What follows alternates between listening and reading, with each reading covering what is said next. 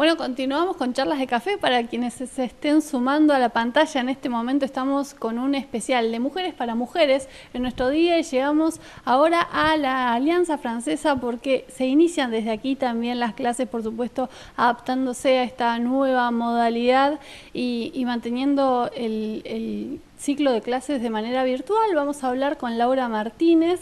Bueno, feliz día en principio. ¿Cómo estás, Laura? Bueno, gracias. Feliz día para vos también. Bien, bien. Organizando el inicio de, clases de este año 2021 de manera virtual. Vamos a seguir, eh, al menos por, por el principio de año.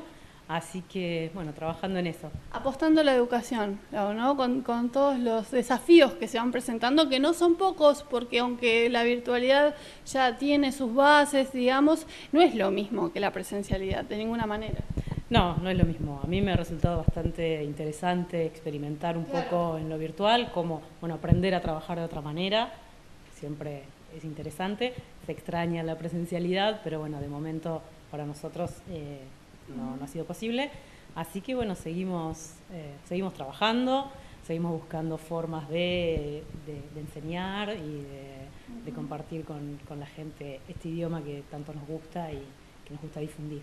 Me encanta. Y que tiene cada vez más llegada, yo creo que eh, esta, esta bendita pandemia que ha cerrado las fronteras en lo literal, pero lo ha, las ha borrado en un sentido figurado a partir de esta digitalización que ya venía, ¿no? pero que se aceleró muchísimo y que hizo que de repente podamos tomar cursos del otro lado del mundo, capacitaciones, un montón de cuestiones que estuvieron disponibles, pero que ahí sí llega una barrera que tenemos quienes no sabemos un idioma. ¿no? Y en este sentido siempre el conocimiento es poder y bueno, eh, el francés es un idioma que tiene llegada y relevancia en muchísimos rubros.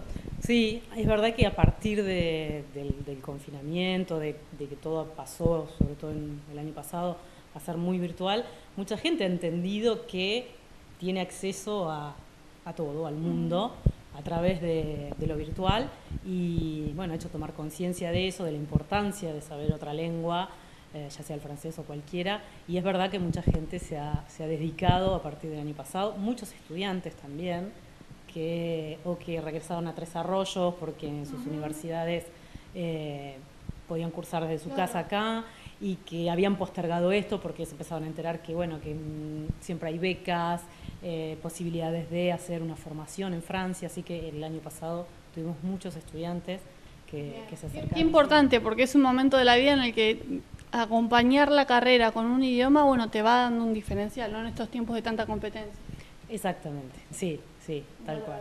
Sí. Y en este sentido se, ha hecho una campaña muy interesante, ¿no? De por qué estudiar eh, francés con diferentes protagonistas de distintos rubros que, que, han elegido este idioma y que cuentan cómo les cambió la vida. Me encanta, muy divertido.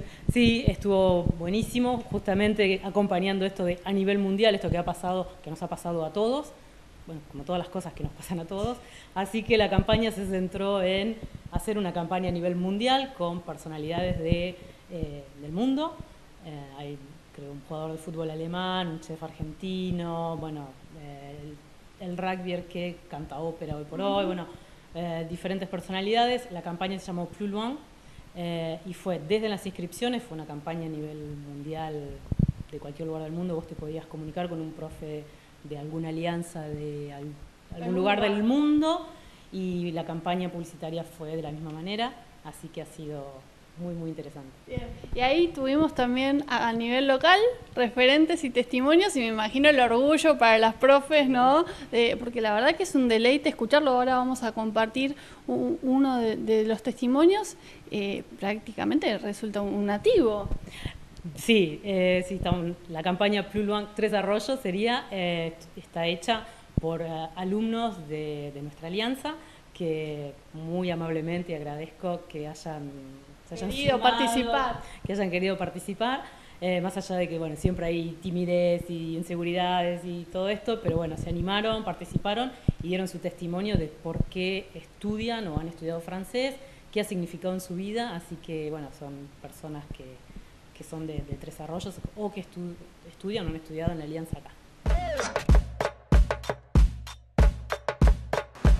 Bonjour, je m'appelle Carlos, je fais de la haute couture.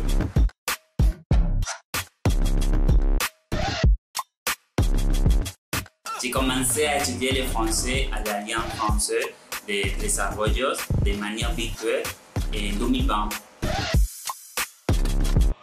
Es importante para mí aprender francés porque me permite entender mejor el vocabulario técnico en mi trabajo. Además, poder comunicarme con clientas francófonas. Los grandes diseñadores que me inspiran son franceses. Estudiar su idioma y su cultura me permite expandir mi creatividad.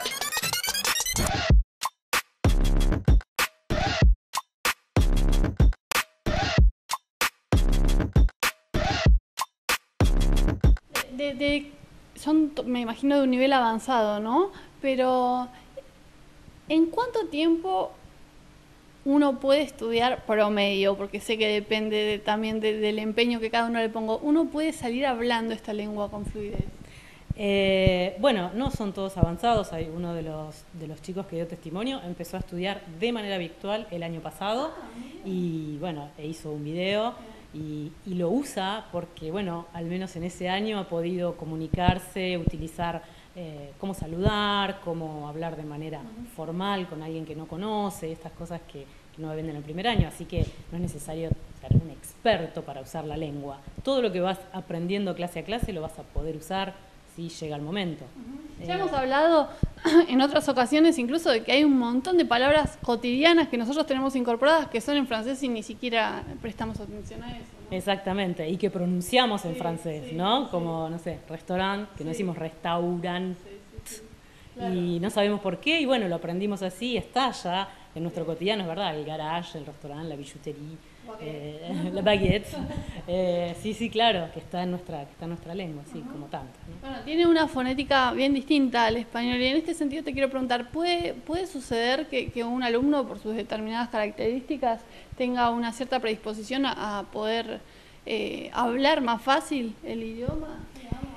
en general los alumnos que vienen sabiendo ya normalmente inglés, que ya tienen, bueno, ya tienen como esa, ese hábito de comparar, de, jugar con la pronunciación, podés, sí, podés tener más facilidad o menos facilidad.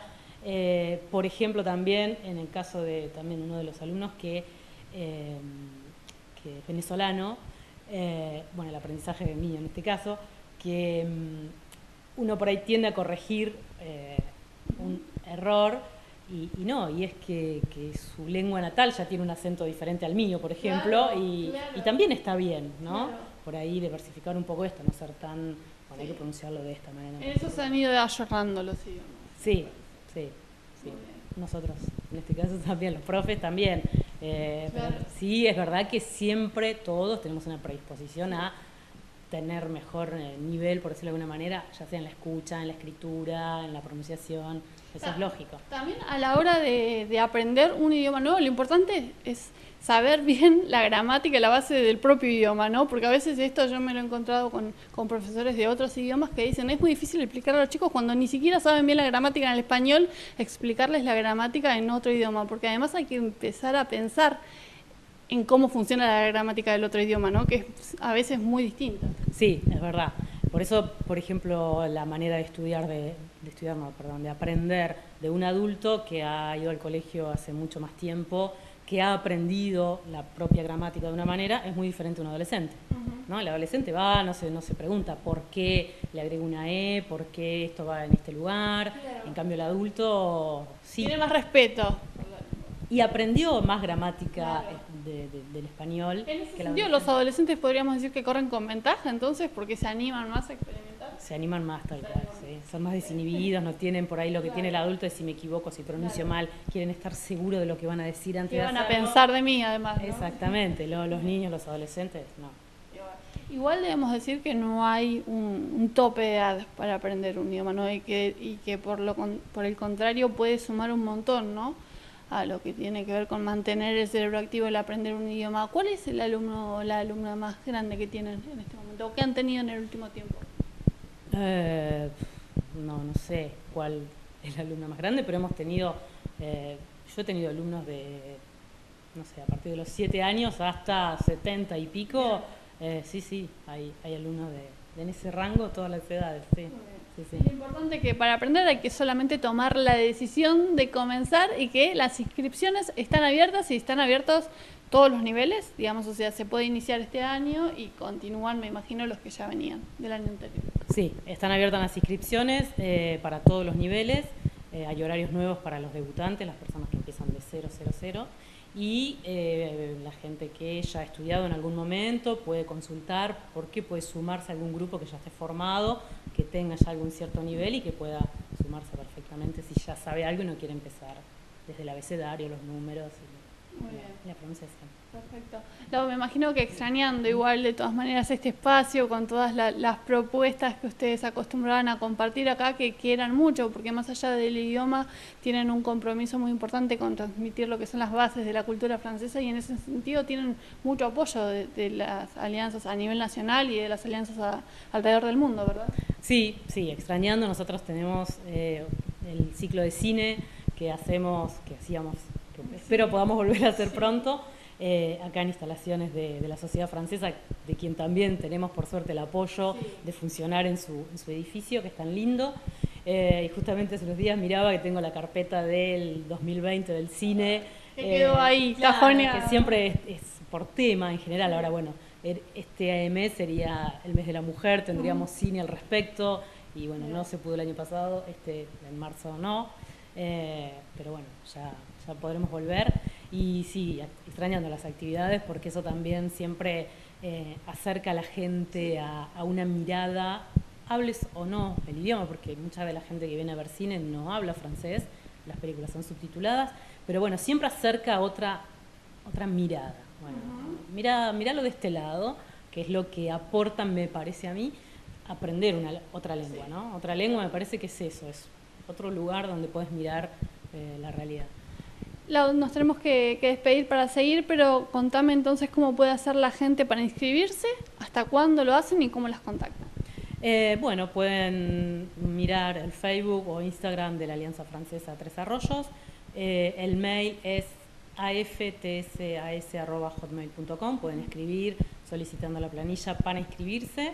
las clases eh, empiezan el lunes 15 de marzo, así que bueno, tienen todas las vías online para, para conectarse. Animarse, ¿no? A probar un poquito. Animarse, sí. Bueno, feliz día. No sé si querés dejar un mensaje para tus colegas de género. Bueno, feliz día para todas y citar en este día tan especial a la referente del feminismo que ha sido Simone de Beauvoir, que decía algo así como, me gustaría que cada vida humana fuese libre y transparente. Así que, me encanta. Muchísimas gracias, Feliz día para ustedes. Bueno, y así les dejamos una propuesta entonces desde la Alianza Francesa que comienza con el ciclo lectivo 2021 y si vos estás empezando, pensando en empezar esto y te vas a buscar tu cuadernito, tus útiles, yo te recomiendo que pases por la papelera que tiene un montón de combos increíbles y todo lo que necesitamos también para la vuelta al cole.